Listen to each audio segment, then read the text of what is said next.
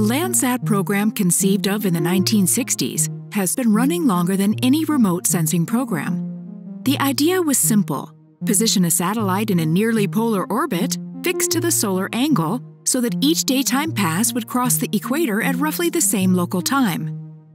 Data representing bands of the spectrum are captured and processed into grayscale recordings, which can be combined to create natural looking views like this or false color views like this. Nine Landsat satellites have been launched in partnership with NASA since 1972. Expectations were high when Landsat 1 carried two sensors into orbit. This view of Dallas, Texas was the first cloudless image received. Landsat 1 data led to immediate and fundamental changes to practices of the cartographic and geographic communities. Country borders were redrawn and entire islands were discovered. Imagery was received and processed at the new USGS EROS Center in South Dakota, which would become the hub of the Landsat archive for the next 50 years. The first three Landsats added a wealth of insight to many areas of science, from forestry and hydrology to cartography, environmental pollution, and more.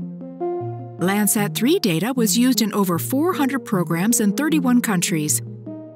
Groups in Bolivia leaned on Landsat to discover new lithium deposits. Officials in Kenya monitored the relationship between cheetahs and cattle, and engineers in Pakistan studied silt patterns in the data to plan for a new seaport.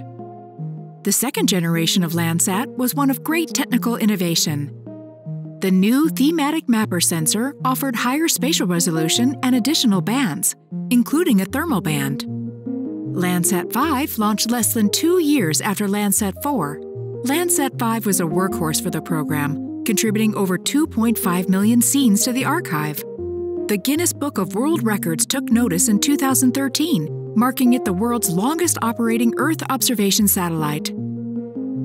Landsat 7 added to the observation record with years of science value, monitoring water quality, glacier recession, fire progression, flooding, population growth, and more.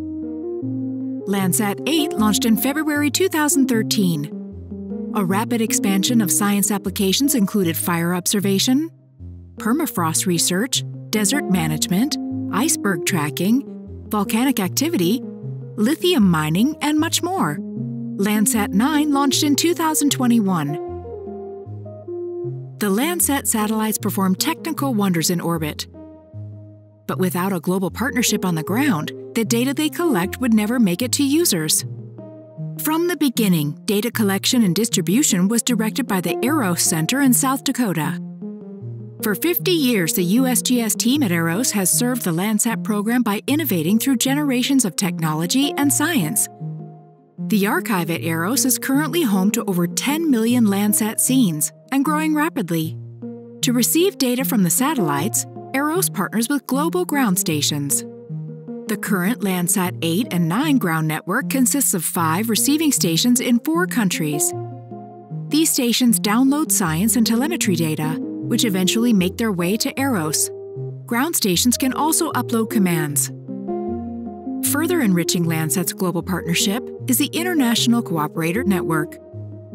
An international cooperator is an international governmental organization with which the USGS enters into a formal agreement for the direct reception of Landsat data.